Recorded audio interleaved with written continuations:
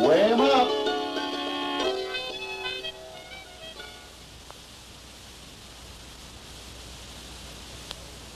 Shouts of wire down, box full, and weigh 'em up filled in the Willamette Valley during hop harvest.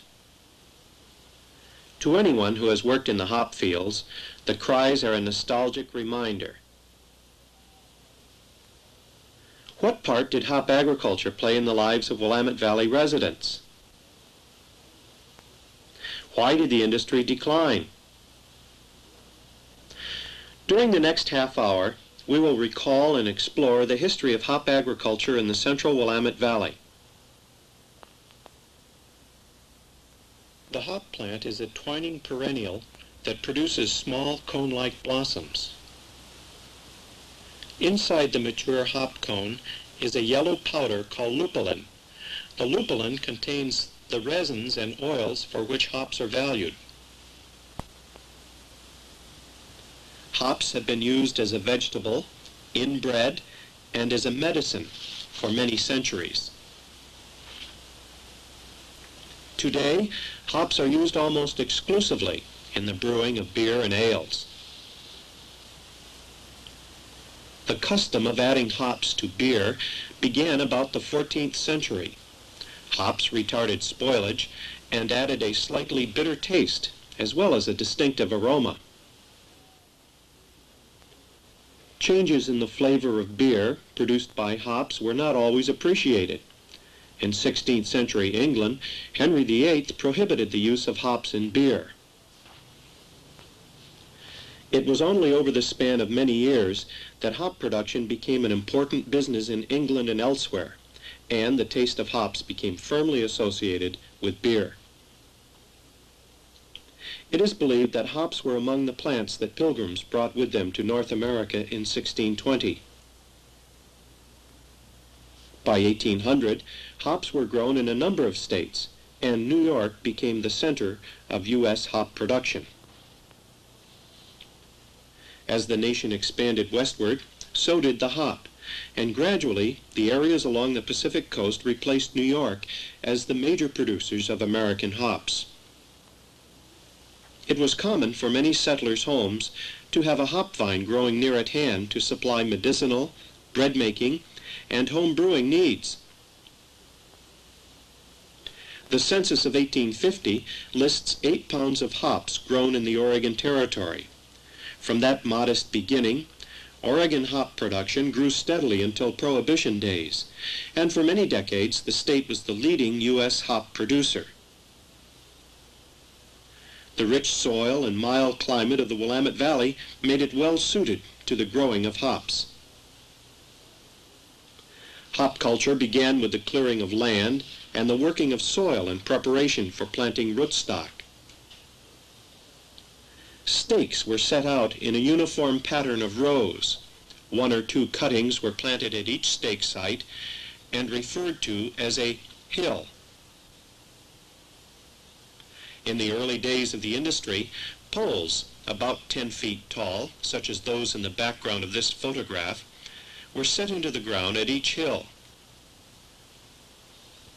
About the turn of the century, some growers began using a post and wire system. Posts were set at every third or fourth hill, and wire, or twine, was strung from one post to another. String was then run between the stake at each hill and the overhead wire. The best of the young vines were trained to twine around the pole or string in a clockwise direction. Tall sleds pulled by horses or tractors enabled workers to reach the overhead wires and train the vines along them for maximum exposure to air and sunlight. Rosa Cole of Salem remembers training the vines.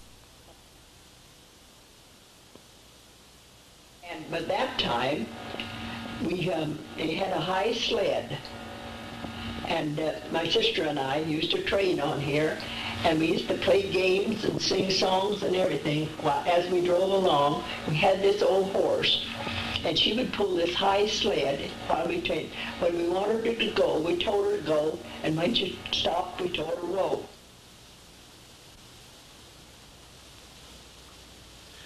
Mixtures of nicotine, or quassia chips, and whale oil soap were effective pesticides used to control red spider mites and aphids.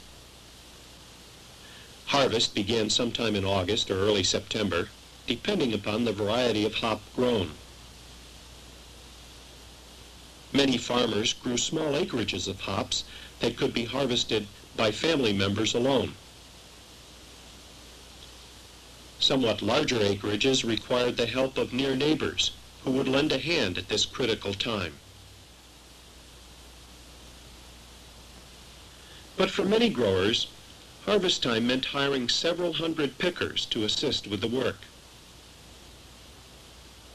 In major hop-producing areas, the size and number of hop ranches meant the influx of thousands of workers every harvest season. For example, Independence, known as the hop capital of the world, was a quiet town during most of the year. Harvest season, however, brought huge crowds, as many as 25,000 workers, most of whom arrived by train.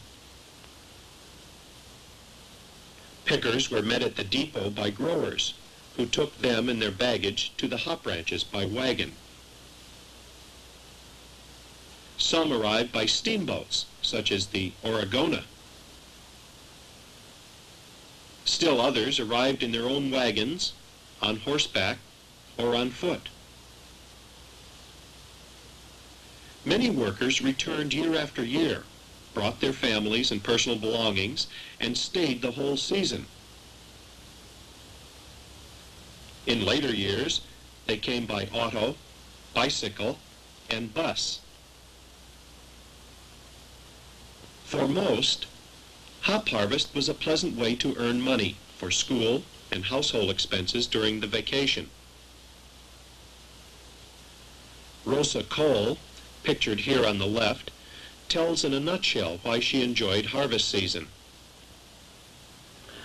No, I liked hops. I liked work. I liked my paycheck.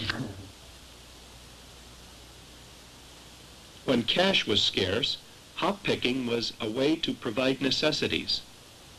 Charles Staley remembers that income from harvesting hops was all he had in the way of cash.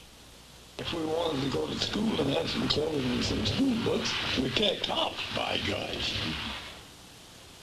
For some people, particularly during the Great Depression, hop picking was a way for a family to eke out an income in bad times. Accommodations at the farms varied. Pickers usually provided their own food and bedding, and sometimes their own tent and camp stove. On the larger farms, the grower provided cabins or tents as well as stoves, firewood, tables, benches, and straw for sleeping mats. Small stores were often available on both the large and smaller farms for the convenience of the pickers.